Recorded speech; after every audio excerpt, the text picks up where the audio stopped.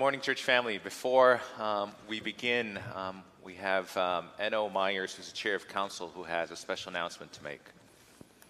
Good morning, everyone, and uh, welcome uh, to church this morning. It's uh, it's a pleasure uh, to be here in this building, and um, I uh, hope uh, that everybody has a, a, wonderful worship service wherever they find themselves this morning. This last year has been a um, an unusual year, to say the least. Um, I expect that every one of us at one point or another uh, suddenly thought of somebody and thought, my goodness, we haven't seen these people in a long time. Um, uh, this sense of uh, disconnect uh, within the congregation is uh, heightened by the fact that we haven't been able to worship in person. Um, so we've had virtual worship services. Our staff uh, experienced a significant uh, amount of a learning curve in figuring out the technology in order to uh, continue our worship and our programming. And uh, they've done a marvelous job. Um, and all of this was taking place, this work by the staff, uh, in the absence of uh, Pastor Borgert, who had uh, just uh, before the pandemic left for Chatham. Um, God has been faithful to all of us through all of this. Our elders have been diligent in making contact with their districts. Our members have remained faithful in terms of their attendance, their prayers, and their giving. And uh, this is the point of the announcement. God has also blessed the work of our pastor search committee. That's Phyllis Alberts, uh, Kim Borgdorf, uh, Nathaniel Kuperis, uh, John DeWinter, um, Ed uh, Ices, um, Paul and uh, Moses uh, have also uh, been sitting in on the committee as well. Um, the committee has been making uh, at least, uh, meeting, pardon me, at least weekly for, for months. They have considered and dialogued with a, a large number of pastors. And it seems to happen so often while they're looking in one direction, God uh, blesses their work in a different direction that they didn't see coming. Uh, they have been in contact uh, with Reverend Nick and Amy Bowling. Um, they applied for the job, they were nowhere on the radar. But uh, Nick and uh, Amy Bowling are uh, ordained in the Reformed Church of America. They've been ministering as a team for over 17 years.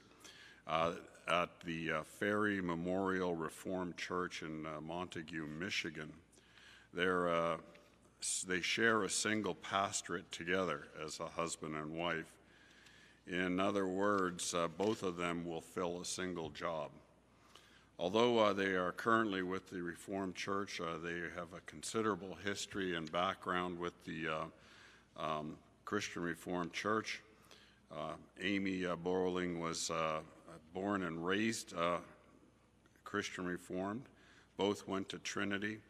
Both attended a year at uh, Calvin Seminary, and then both attended Western Theological Seminary. Um, there are uh, many uh, aspects uh, about their ministry that uh, Reverend Nick and Amy impressed the committee with. Uh, they were impressed by their enthusiasm, their demeanor, uh, their vision of a team ministry, which is uh, unique, and their experience. And when council spoke to them by Zoom last week, uh, we were uh, equally uh, struck and impressed. And after a meeting with the Bowrings and council, council met together and voted unanimously to recommend that the congregation extend a call uh, to uh, Reverend Nick and uh, Reverend Amy Bowling. Bowling, pardon me. Um, next week, uh, we'll send out more information about them. Uh, we will uh, include the letter from the calling committee, which contains links to services that you can check out and sermons. we anticipate that they will lead us in worship on April 18 and 25, and we encourage you to um, obviously uh, attend in on that as well. We're confident that you, like us, uh, will find them to be a blessing for our congregation and our church. Their wide range of gifts, their uh, talent uh, will fit well, uh, we believe, with uh, our staff and our program, and we're thankful to God for this development. And we will look forward to where it will lead us together. Thank you, Eno. It's, uh, it's wonderful um, to hear uh, how the Spirit continues to work uh, in and through the life of um, the church. And it's wonderful as um, I was looking forward, looking into this week, um, all the wonderful things that are happening, although we are scattered. Um, just a few announcements. as as has been tradition for a few weeks now, there's coffee hour um, after worship on Zoom, and the link you can find in the description and also in the midweek communication that went out on Thursday. And in your bulletin, there's a notice for a congregational meeting on April the 7th to approve the nomination of office bearers and to approve the financial statements of the year 2020. You will also be receiving an information uh, about balloting and a separate email with all the information coming this week.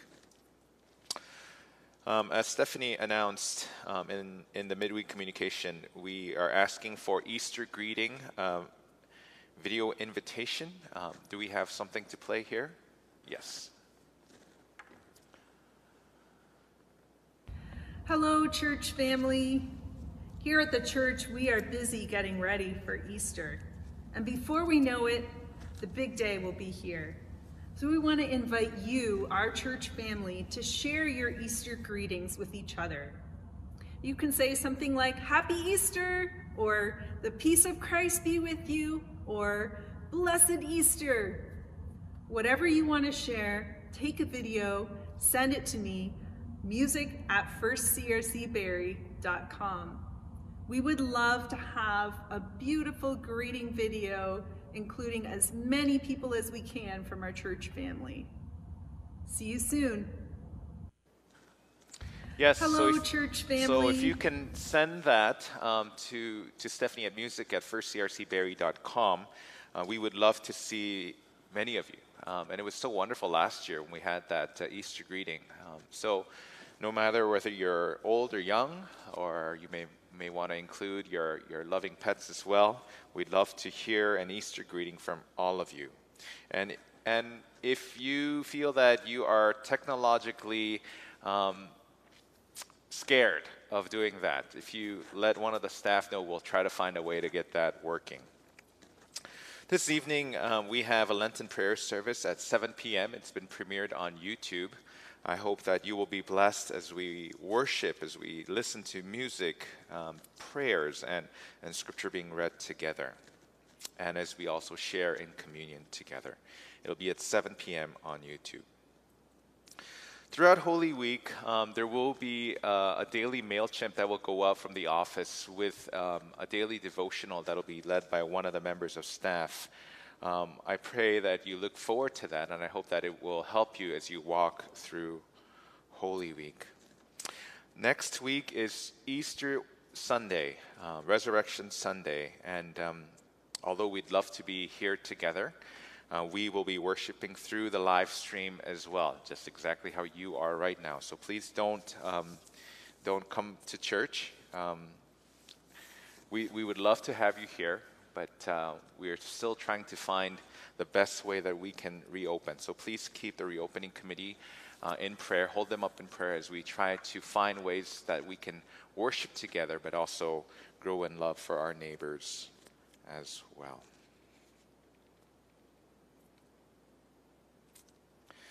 At this time, let us gather together for. no, sorry. let us pray. If you will join with me in prayer. Friends in Christ, for the five weeks of Lent, we have been preparing for the celebration of our Lord's suffering and death. Today, together with the whole church, we begin this holy week by welcoming our Messiah. So, like the people of long ago, Let us welcome Jesus and follow him to the cross. So let us pray. King Jesus, gathering for worship today, we are like the crowd that lined the streets witnessing your entry into Jerusalem. Some of us gather full of enthusiasm. Some of us gather wearied by what life has thrown at us. But it is here, O God, that you meet us and greet us, and it is here that you surprise us with your love and your grace. So open our heavy eyes, open our tired minds, steal into our closed hearts, and surprise us today with joy. Open us to the possibility of hope and allow us to glimpse the goodness of your purpose for us. Help us to join in the cry, Hosanna! Blessed is he who comes in the name of the Lord. Hosanna, Hosanna, Hosanna in the highest. Amen.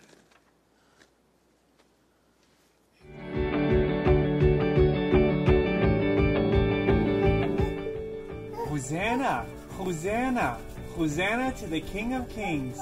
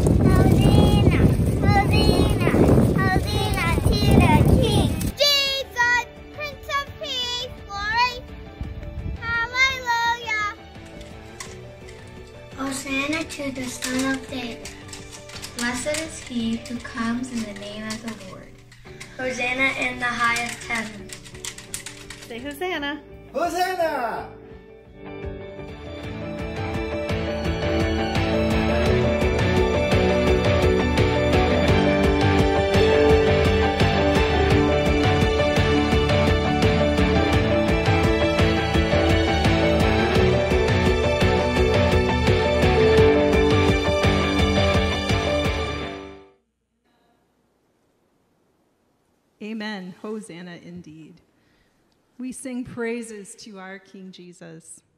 Let's join together.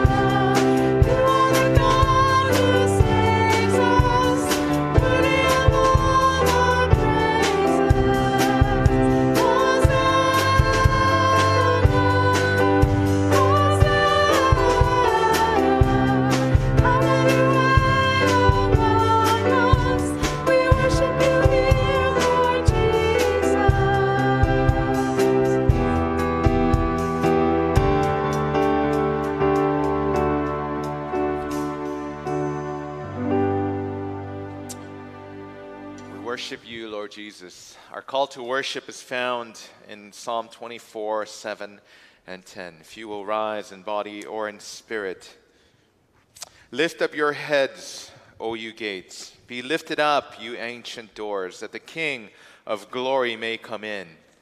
Who is the King of glory? The Lord, Lord, strong, and mighty. The, Lord, mighty in battle. Lift up your heads, O you gates. Lift them up, you ancient doors, that the King of glory may come in. Who is he, this King of glory? The Lord Lord Almighty. Almighty. He is the King of glory. We have just called to worship, saying, Lift up our heads, lift our gates, open our, our gates so that we can invite the King in.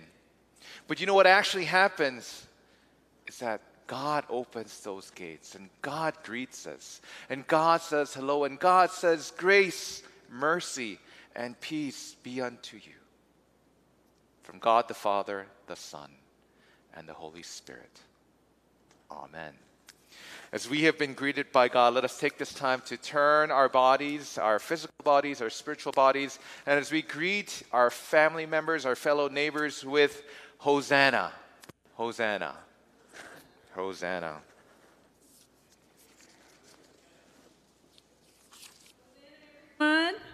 Hosanna to you. We sing, The King of glory comes, the nation rejoices.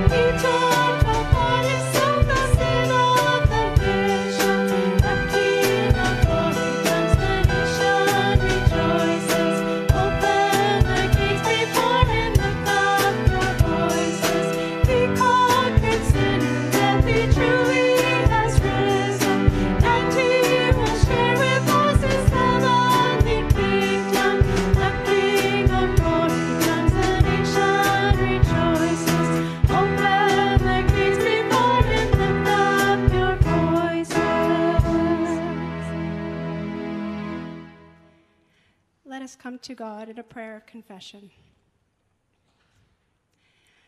Loving God, you rode a donkey and came in peace, humbled yourself, and gave yourself for us.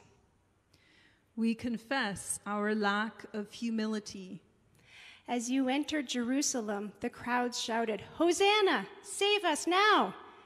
On Good Friday, they shouted, Crucify!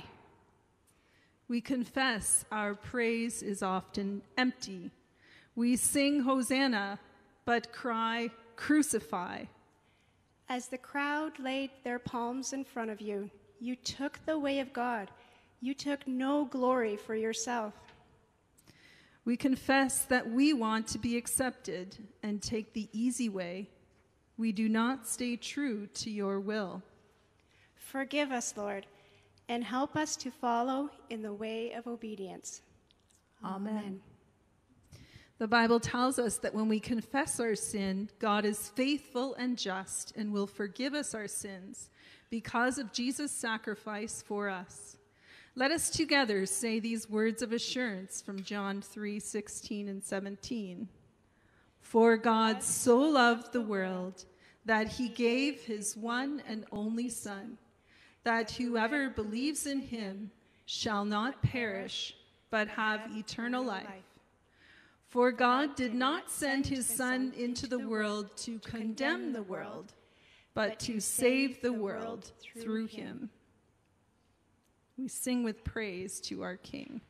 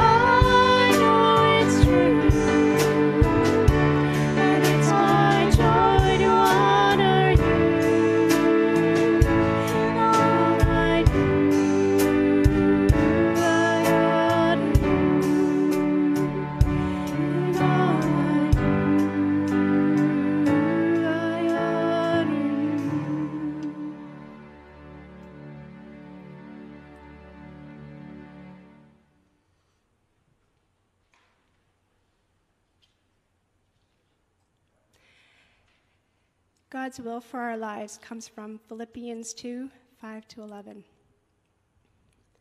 Let the same mind in you that was in Christ Jesus, who, though he was in the form of God, did not regard equality with God as something to be exploited, but emptied himself, taking the form of a slave, being born in human likeness.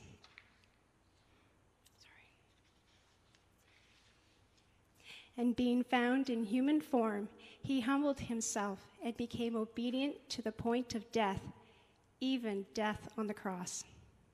Therefore, God also highly exalted him and gave him the name that is above every name, so that at the name of Jesus every knee should bend in heaven and on earth and under the earth, and every tongue should confess that Jesus Christ is Lord, to the glory of God the Father.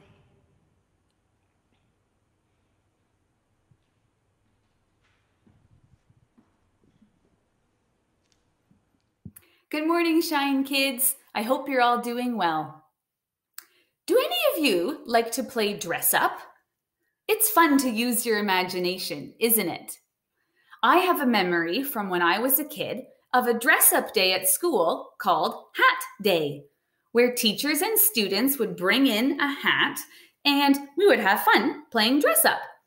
I enjoyed seeing the different choices people would bring in big hats, small hats, colorful wild hats, working hats. We had a fun time. You can tell a lot about a person by the hat he or she wears, maybe what job they have or what activity they're going to do. Let's play a guessing game together and we'll see if you can figure out what job I might have or where I'm going by the hat I wear. Here's the first one. This is a hard hat. I might be a construction worker if I was wearing this hat. Here's the next one. Where am I going? Maybe I'm heading out to the beach. The next one, this one might be tricky for you. Do you know who wears a hat like this? Maybe a chef or a baker? Hmm, I'm hungry for cookies now. Okay, what about this one? Maybe I'm going to play a round of golf. The last one I have to show you is very special. Who might wear a golden crown like this? A king or a queen. You're right, someone royal. Today's message is all about a king from a long time ago. He was different than other kings. He didn't get to wear a golden crown like this or have beautiful robes. He didn't live in a palace or have servants or soldiers to help him. He didn't even have a country to rule or a coin with his name or face on it. You might have guessed the king I'm speaking about is King Jesus. He's not just any king, he is the King of Kings, the best king ever. His kingdom is not an earthly one, but a heavenly one. When Jesus was on earth, the people were hoping for a real life king who would set up his kingdom here and they could share in his wealth and his power. But that's not why Jesus came to earth. He came to earth to save us, to rescue us from our sins, so we could be a part of that heavenly kingdom with eternal life. Jesus did finally wear a crown. Not a gold one like this, though, a painful crown of thorns. He was willing to wear that painful crown of thorns to show his love for us. We'll learn more about Jesus' sacrifice later this week on Good Friday. But today is Palm Sunday, where we celebrate and remember Jesus' triumphal entry into the city of Jerusalem, where the people welcomed him as their king by laying these palm branches down on the road in front of him. We celebrate today that Jesus is really the King of Kings, still today. Would you pray with me now? I will say a line first, and you repeat after me. Dear Jesus, we praise you. Thank you for being the King of Kings. Thank you for being the Lord of my life. Amen. Have a blessed Palm Sunday, my friends. I can't wait to get to see you again. Right now, we're going to sing a song, Hosanna. Join me. And what an awesome king that we have who took the way of sacrifice out of love for us. So thank you for that message. And kids, we're going to sing together Hosanna, Hosanna in the highest. So if you have your palm branch at home that you made, or maybe something else that you can wave in celebration, uh, this is a song where you get to wave your branches and dance around as we praise our King Jesus.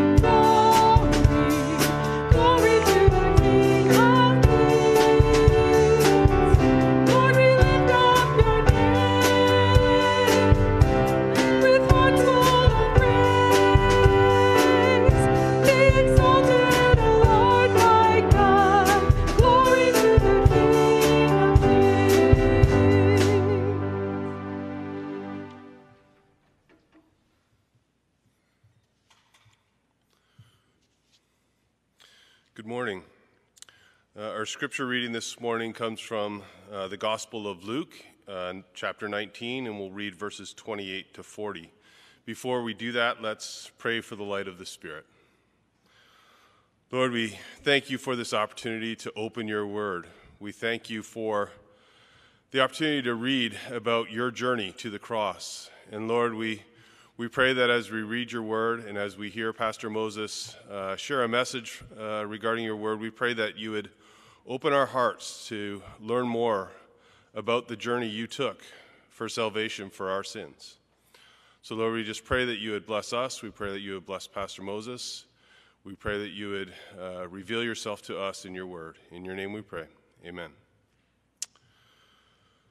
So, Luke 19, beginning at verse 28, which is the triumphal entry. After Jesus had said this, he went on ahead, going up to Jerusalem.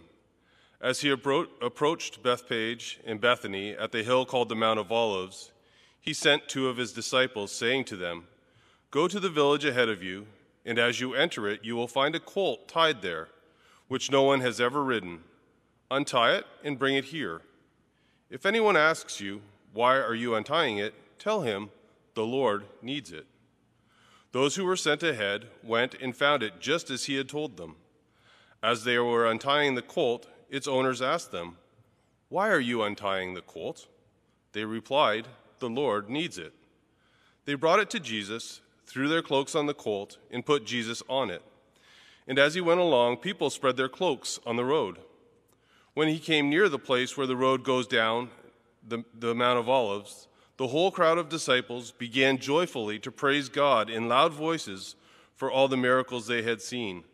Blessed is the King who comes in the name of the Lord. Peace in heaven and glory in the highest.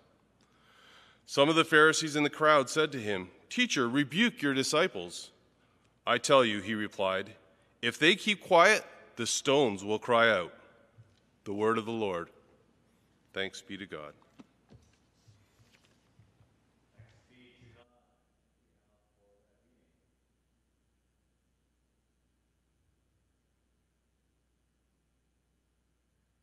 Thank you, Al, for that reading.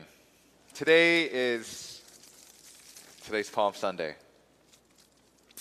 It's usually a day when we would probably have Andrew walk down the aisle with a donkey. Um, follow behind him, following behind him would be the children of our church who would be waving palm branches, looking all cute and looking all excited because it's the one day they can create ruckus in the sanctuary and no one really, actually, they kind of enjoy it. Um, possibly followed by some of our children at heart, maybe like people like Eno. There's a level of energy that would surround us as we would welcome Holy Week to the life of our church. And for the next week, we'd have many opportunities to come into church to celebrate or remember Jesus the King.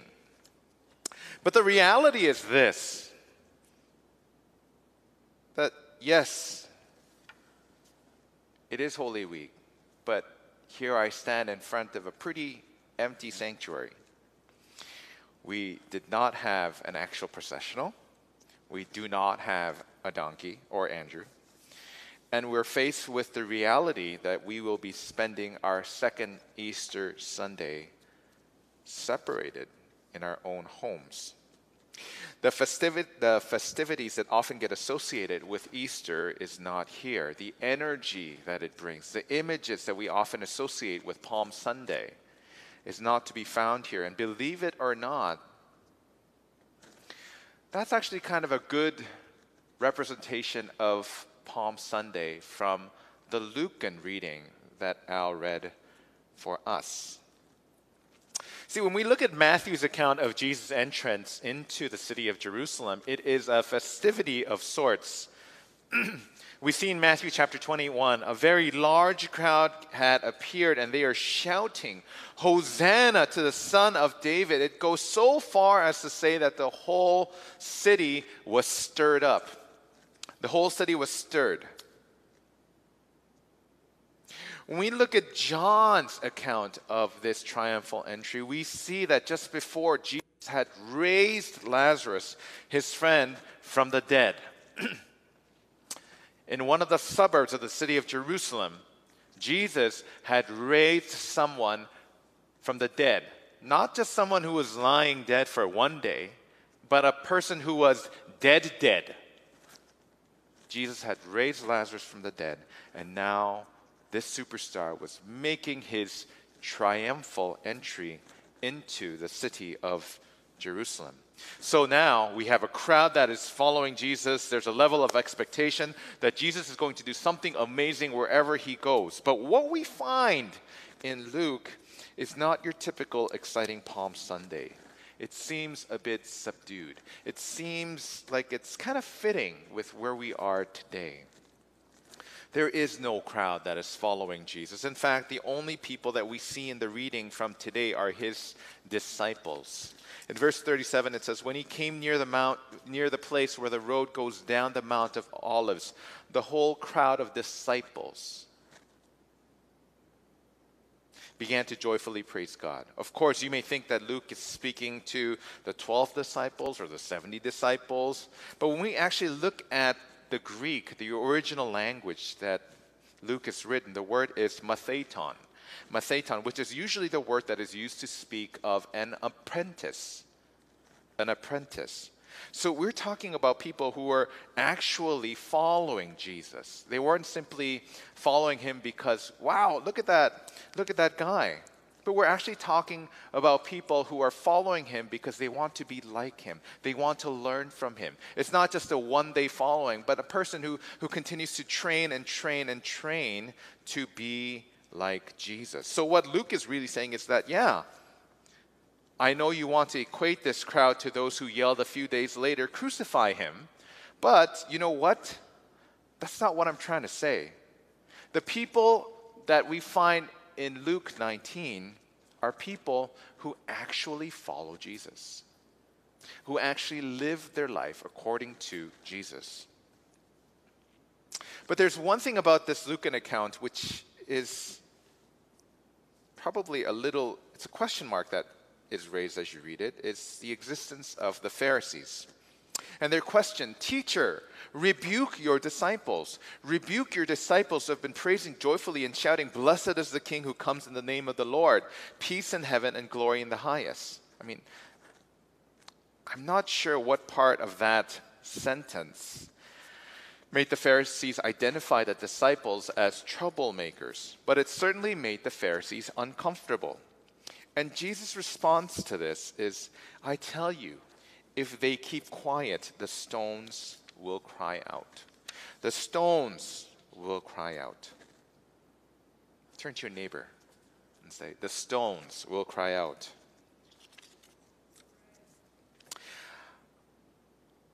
I mean, I guess God can make anything happen out of rocks. He was the one that allowed a stream of water to flow unendingly from a rock. We probably all recall the stone account that comes in the Advent text in Matthew chapter 3 when John the Baptist rused the Pharisees and Sadducees, saying that God could raise up children of Abraham out of these stones. We'll all remember how the devil tempted Jesus to make these stones into bread. See, stones they have a theological significance in the Bible. In fact, biblical commentators have argued that the stones that are being mentioned here in Luke has a direct relationship with Psalm 118, which has the, which is where the Palm Sunday chorus of Lord save us, Hosanna comes from. It's a direct translation of the word Hosanna, Lord save us. But when we think that one of the most often quoted scripture with stones actually appears just a few verses before Lord saves us in Psalm 118. The stone the builders rejected has become the cornerstone. The Lord has done this, and it is marvelous in our eyes. So, is this the reference that Jesus is making when he says, These stones will cry out? That even those who may seem like rejected stones, including to the thinking of the Pharisees, thinking that these, these disciples, that these, these apprentices that are following Jesus, they're rejected stones. Why is it so important for the Pharisees to name these rejected stones crying out, Blessed is the King who comes in the name of the Lord? Are they concerned that these rejected stones or these rejected apprentice from society will become the cornerstone of the new Israel, the stones that act as the centerpiece in a building. Quite honestly, we may never know exactly what Jesus was speaking to, and I think we could maybe wrestle our way into trying to discern what God is trying to say this morning. As I said, we will never know. But I hope that we can wrestle our way through that this morning. The rocks will cry out. For those of you who know me well, or well enough, or you are intuitive and you have been listening to me for about a year and a half, and you probably can generally picture what Moses is like, you probably would have been able to deduce that I am not a big fan of hiking trails. Let's just say that it's one of my growing edges as I live in Barrie. But the one thing that I really don't enjoy is mountain hiking. See, for me, mountains are there to look at, to look at in awe of God's majestic wonder, not for conquering it, not for climbing. It's, it's there to look. But there's one thing that I learned in my experience hiking on mountain trails, and there are not many, but if there's one thing that I learned, it's the importance of rocks, especially stone markers. My understanding is that all stones have a unique color, unique shape. They, they kind of look the same to me, but they all have unique colors. They all have unique things. And so the distinctiveness of the rocks allow hikers to navigate themselves without having to rely on one of these. And so when you see a rock that is shaped a certain way, you know that you should be turning left or that you should turn right, or you should go back as you've made a wrong turn, or that you only have a few more minutes. I know it's hard to believe before you get to the very top and you can look out and so forth, right? So the stone is useful in giving us information, especially if you were someone who would walk that trail and walk by that stone on a regular basis. And so, in some ways, you, you, are, you are growing with the stone, right? Not, not for a person like me who, who, who won't go on trails, but maybe for a person like Nathaniel, who grew up walking the trails out in BC, who regularly goes out on trails. You're changing, you're growing, you're getting bigger. Yet the stone is always there. So, is there nothing that is happening with the rock? Although we cannot personify a stone, give it intellect and feelings, if you would venture with me trying to get into this piece of rock, and imagine with me that this rock has eyes and can see. God can do anything, right? So let's imagine with me. It has sat there, maybe from the time of creation to this very point. It has seen numerous people go up that mountain. It may have seen young Nathaniel. Maybe it may have seen young Nathaniel go up with his father when he was a little kid. And the rock would have seen Nathaniel grow as he would practice for the cross country team. Maybe when he would bring his first date, or during the time when Nathaniel may be stressed and just needs some time to de stress. Or the time when Nathaniel would walk along with his first child, putting the child on his shoulders. And then as Nathaniel grows older, where he needs the support of a pole to walk those trails, that stone would still be there. That rock has now seen the progression of change that had been happening in Nathaniel's life. Nathaniel may have changed. His life circumstances may have changed. His family situation may have changed, but the stone has not. The stone has sat there, but the stone has seen the changes that have taken place. And so when I think about that rock that was on the road to Jerusalem, where people would be running back and forth, where kids would be playing around, where the Roman soldiers would ride on their horses and go in and out of the city, that stone would have seen it everything. The stone would probably have heard it, all of it. The stone probably would have experienced it. From the moment that God created the stone into being, the stone would have experienced it, all of it. The fall of mankind, God's plan of love to redeem humankind, God's continued way of keeping covenant with his people, in providing this land as the Israelites were exiling through the desert before they settled into Canaan, the way the Israelites continued to turn away from God and God's desire to reach out to his people, how this old city was run over by different powers, and now about this man who was roaming around in Galilee, healing people, teaching wonderful things, doing miracles, and now that person was finally coming into Jerusalem. From the time of creation, there was something that was building to this point, a narrative that has been building. And if that stone had seen all of what I had just shared, how could the rocks stay silent? How could the rocks not cry out if it could? If this rock had seen the entire narrative of God's continued work of redemption and have seen Jesus coming down the road, how could this rock not cry out? But maybe you're thinking, Moses, are you maybe taking this way out of context? Well, maybe. But what we see in this Lucan text and in the way Luke is framing this is what they had seen. In Luke 37, Luke writes of how the disciples began to praise God for all the miracles and for what they had seen. The things the disciples had seen, the things the rock had seen, the things that we have seen. In some ways, we are no different than the rocks. The rocks have seen God's continued work of love and redemption to his people. And in fact, oftentimes they have the very best view. And so do we.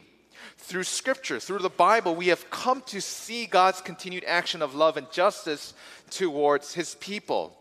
And now to us, we see it. We have heard and we have seen the love of Jesus manifest itself in the stories of healing.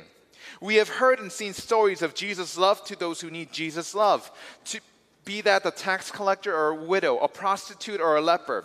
We have heard and seen how God promised that He would never leave us or forsake us or punish us ever again with the flood. We have heard and seen of God's love for us, that while we were still sinners, Christ died for us. We have seen and we have heard of the good news that God shares with us through Jesus Christ which we'll be celebrating in just a few more days. We have seen and heard just as the stones have seen and heard.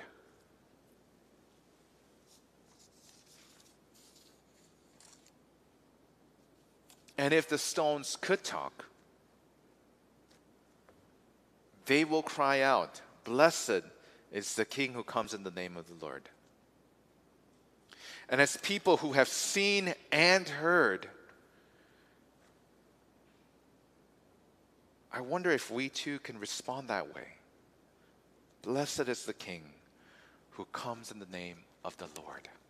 Peace in heaven and glory in the highest. I wonder if we could join forces and share that wonderful news that the King who will free us from all the bondage of slavery has already paid the price. Will we shout out or will we choose to stay silent?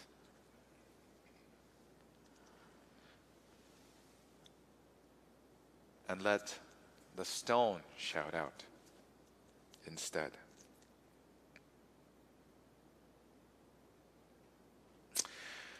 Brothers and sisters of First Barrie, we see, if we look at the entire narrative of the Luke's gospel, we see something that is building. Luke repeatedly uses the Greek word plethos, plethos, like plethora, right? Um, he continues to use this Greek word in the Gospel of Luke and also in the Acts of the Apostles. It speaks to a great number, a great number of angels, a host of angels shouted out, a great number of fish, a great number of people. Something great is happening. Luke is continuing to speak to its readers. Something great, something big something great is happening. And something great is happening. And we see it again right here in Luke chapter 19. The entry into Jerusalem marks something big, so big that it would stop the traffic on the 400. We know what that is, and we have seen and we have heard. Luke is inviting us to get on board for that awesome, big, great number thing that is happening soon and very soon. Will you shout out that wonderful news? Over the last six weeks, we have started on a journey called Lent. But we have also been very intentional in the message that we are giving. What is the gospel? What is the gospel? It is good news. It's a story about something that has happened. And our response has to do with our relationship with that event that has taken place. Now, this stone is a stone that just sat outside, probably on, on my left hand side. If you go out the exit doors, there are a few rocks that are out there. Now, I don't know which quarry it is from. I don't know if it was actually sitting here and someone placed it there.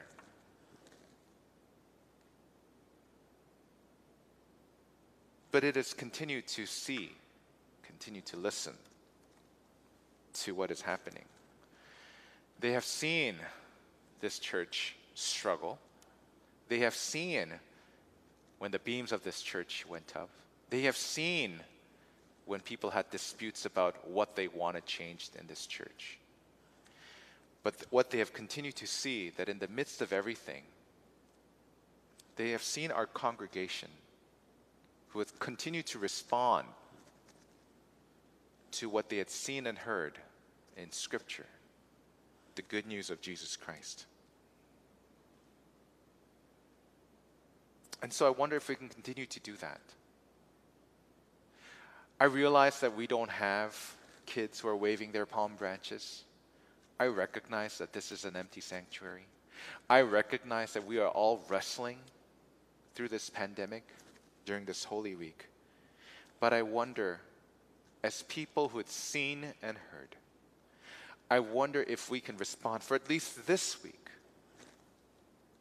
to that amazing news, amazing good news, that amazing gospel story that we had seen and heard, and will celebrate again in a week's time. Will you respond? Will you come and follow me? Let's pray. God, we are, we are grateful for this opportunity to, to walk through Holy Week once again. And God, we never really had that intent. We just realized that um,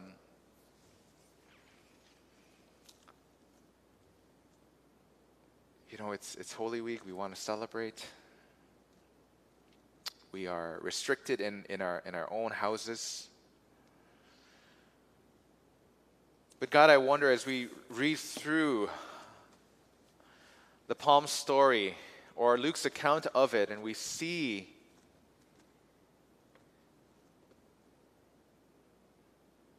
a story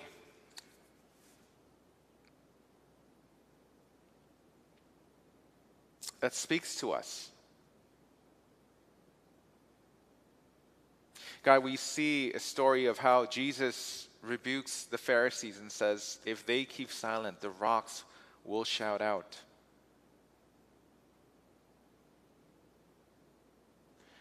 God, we as people who have experienced that wonderful story, have heard that story, and who have formed a relationship with that story, God, if you are urging or if you're moving within our hearts, God, I pray that we can shout out. Blessed are you. Blessed are you who brings peace.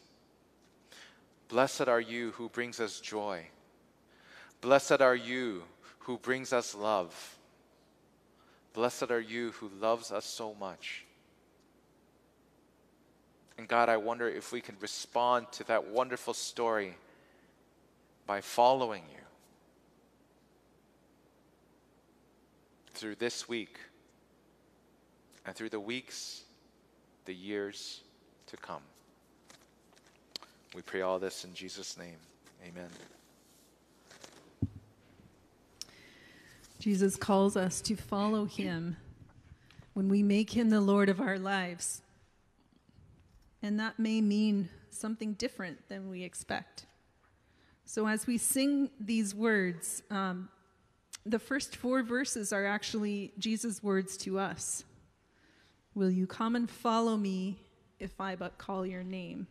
And the fifth verse is our response. Let's sing together.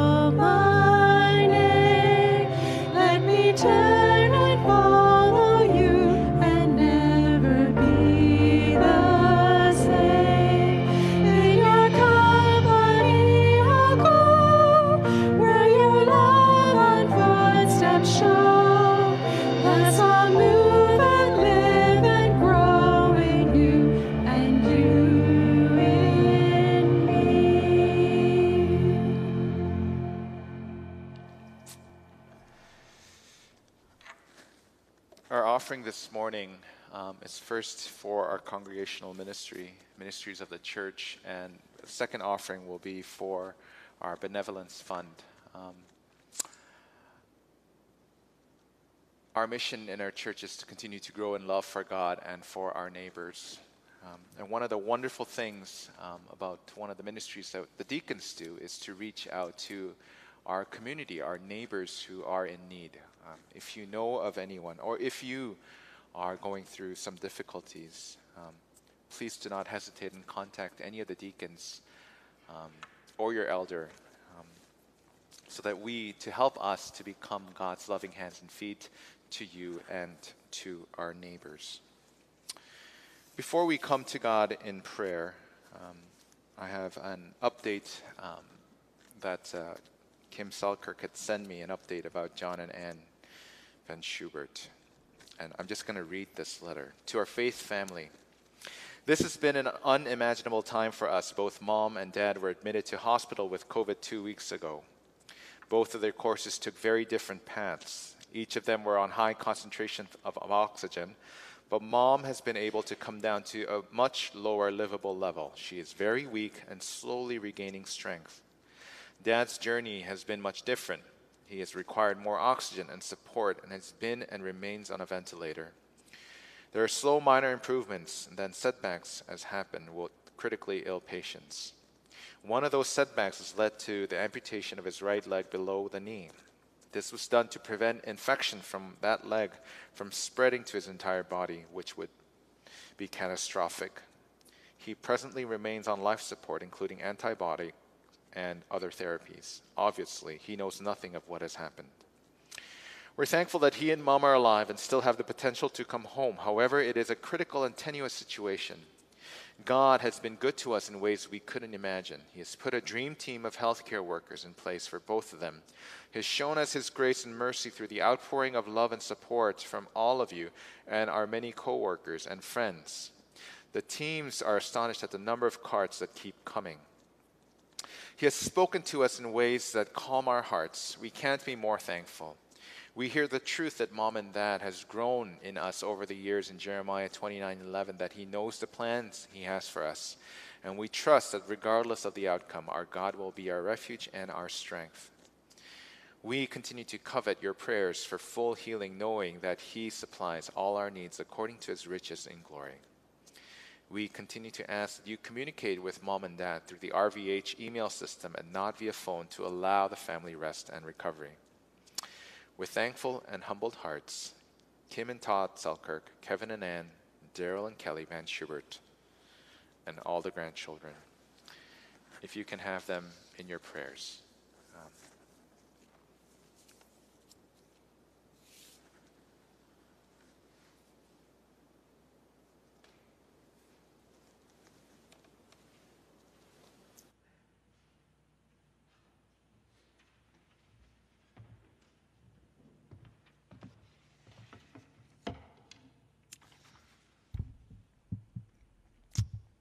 And um, my name is Nathaniel, and we'll be coming to God in prayer in the prayers of the people this morning. Almighty God, we give you thanks and praise for your glory. Today, we remember the triumphant entry of your Son into Jerusalem. And as we enter Holy Week, help us to worship you with our hearts, minds, words, and actions. Lord, through this COVID time, we pray for those, our first responders. We pray for all those working for the, the many physical needs and mental needs of our congregants and also for our community. Lord, during this COVID time, we sometimes feel like we're walking in the dark, but we know that you are near, that you are our comfort and our only comfort in life and in death. We hold especially members of our community in prayer today. We pray for Elka and Jane Chirtsma and their family with Elka's recent diagnosis of melanoma. Lord, help them through this time as they work through a treatment plan. We pray for John and Ann Van Schubert and their families. Give them strength and let them know that you are near and help their faith to shine through to those around them. Lord, we pray also for Stacy Taylor and Jeff Taylor, along with the Taylor and Caswell families through especially the next week. We pray for the doctors and nurses, give them clarity of mind and wisdom as they monitor Stacy and the three little ones growing in her womb. Lord, you knit each one of us, and we are known to you. Be near to Stacy and Jeff and give them strength for the week ahead. Lord, we also pray for our church communities. We discern whether to call Nick and Amy Bowling. Give us clarity of mind as to whether their gifts can help us perform our mission to love you and love our neighbor. Give the Bowlings peace as they discern God's calling for the next step in their family's journey. Oh, Lord, remember those that are sick and homebound in our community. Give them peace and strength in the days ahead as we remember your sacrifice on the cross and look forward to your second coming. Lord, it is your name that we pray all these things. Amen.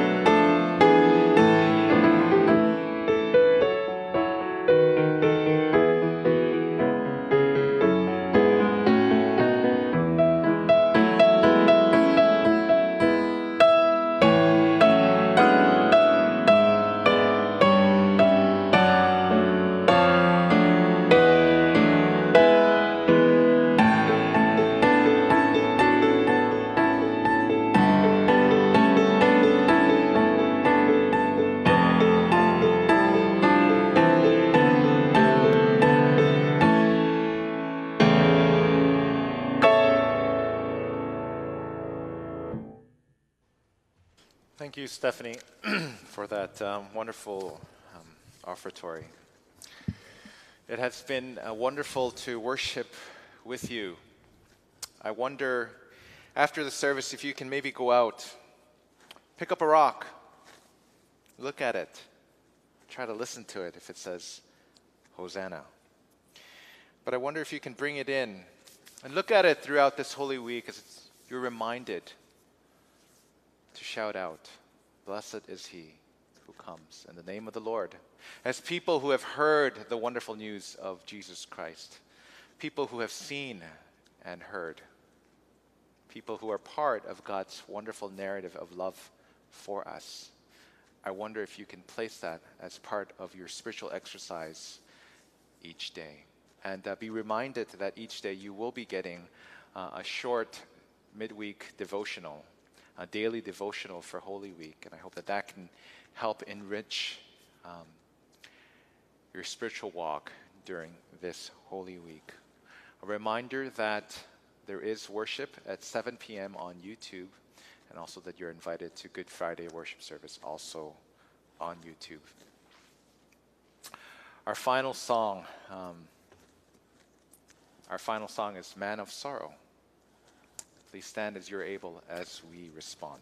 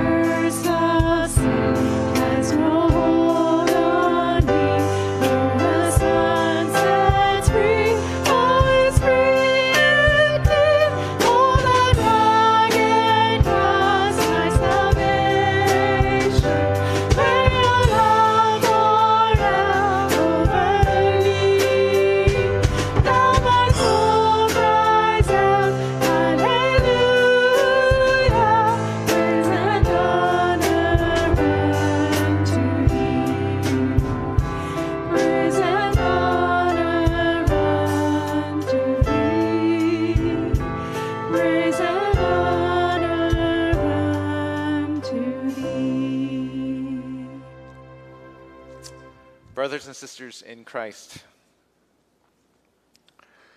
you know, ever since the start of creation, God has continued to speak to us. Uh, I love you. I care for you. You are my children. You are mine. And there's no better representation to that than the, the days that are, to, that are coming in Holy Week. And so I want to encourage you to walk. Walk with the Lord. Walk with Jesus as people who have seen and heard of God's great love for us. I encourage to walk with the Lord. Shout out. And as you go forth from here, may God go before you to lead you. God go behind you to protect you. God go beneath you to support you, and God go beside you to befriend you. Do not be afraid, for we have seen and heard of God's wonderful story of love, of grace, and of mercy. It has now become our story. And so go forth in the joy that it brings as we walk together through Holy Week from this day and forevermore. Amen.